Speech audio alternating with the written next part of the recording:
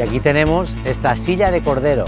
Vamos a extraer el lomo y vamos a cocinarlo a las brasas.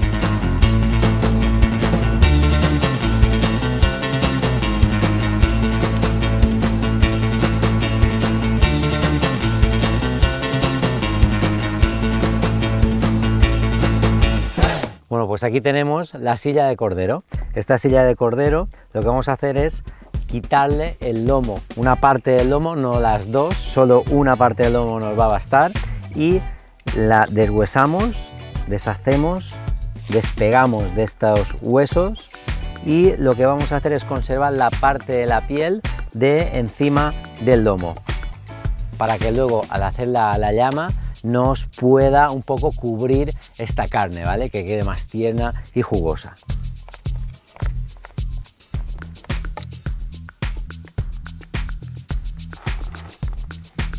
Ahora lo que hacemos es alinear con un poquito de sal, un poquito de aceite de oliva y un poquito de zumo de limón. Cortamos un limón y metemos unas gotitas de limón por las dos partes, limón, sal y aceite de oliva. Dejamos marinar unos minutos mientras nosotros vamos a asar toda esta verdura.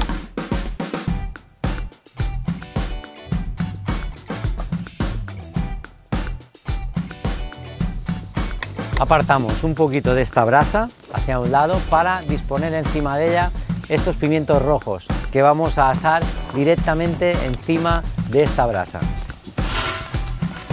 Para los calzots lo que hacemos es tener estas parrillas, le metemos el calzot dentro, cerramos y las asamos a fuego vivo hasta que queden bien bien quemaditas por todos los lados.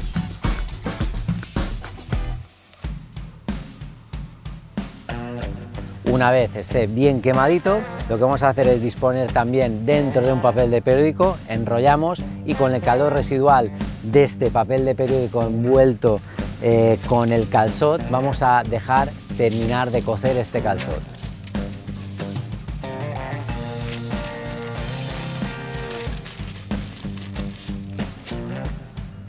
Una vez metidos estos calzots en papel de periódico y puesto aquí al lado para que se termine de cocer, disponer este lomo de cordero ya alineado en esta parrilla, cerramos y colgamos.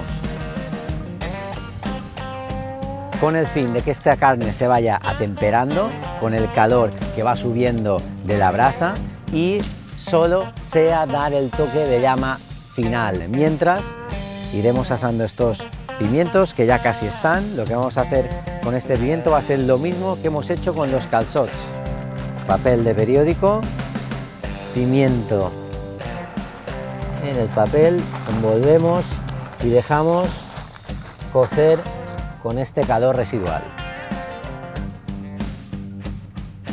Luego simplemente habrá que pelarlo, alinearlo, mezclarlo con este pimiento rojo asado, un poquito de perejil, un poquito de zumo de limón, sal, aceite de oliva y tenemos nuestra guarnición para este lomo de cordero.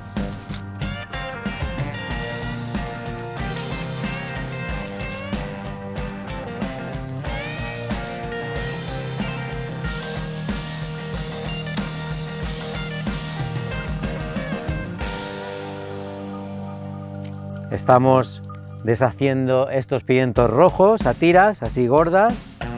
El calzol lo vamos a dejar así.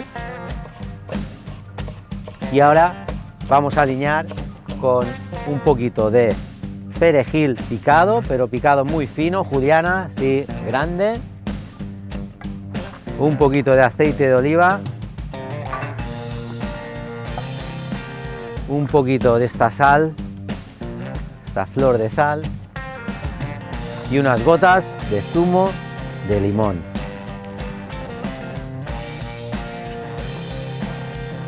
Alineamos bien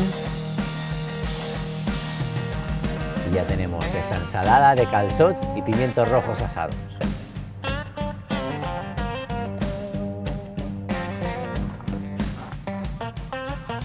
Preparamos para la llama tenemos unos sarmientos del mismo olivo, más secos, y vamos a proceder a quemar este lomo de cordero que hemos atemperado en esta parrilla encima del fuego. Que se ahume un poquito.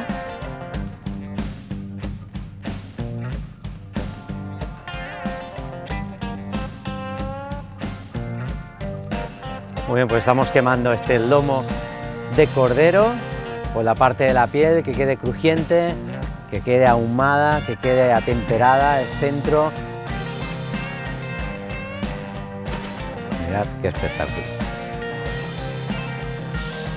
Piel crujiente. Y vamos a cortar.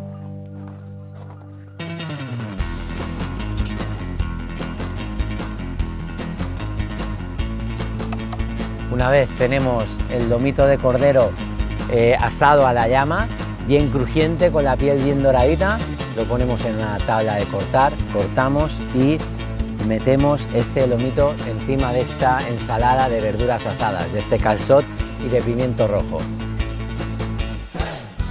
Y ahora ya lo tenemos a punto para comer un lomo de cordero mallorquín con una ensalada de pimientos rojos asados y calzots.